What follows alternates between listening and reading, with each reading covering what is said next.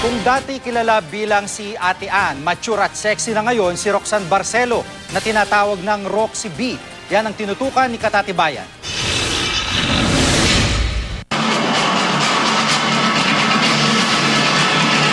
Sizzling hot sa sobrang dami naman nagseseksihan dilag ang victory party ng isang men's magazine nitong Miyerkules. Siyempre, bida ang kapuso sexy ladies na pinangungunahan ni Maren Rivera.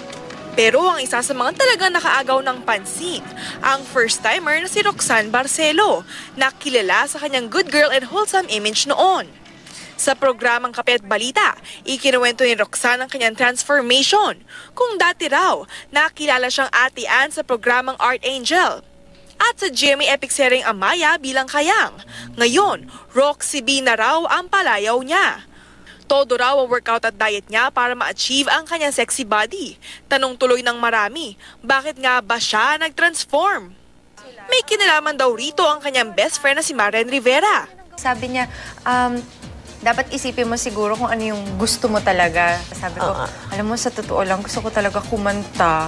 Kaya bukod sa acting at hosting, isasabay niya rin daw ang dancing at singing. Katunayan, may bago siyang single na Wow o Women of the World. Isa lang daw yan sa dapat abangan sa bagong Roxy B dahil simula ngayon sasabak na rin daw siya sa iba't iba at daring roles. Katatibayan updated sa showbiz happenings.